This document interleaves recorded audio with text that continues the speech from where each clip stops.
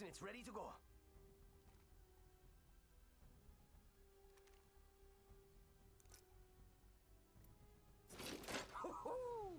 Wonder how many hits that'll get.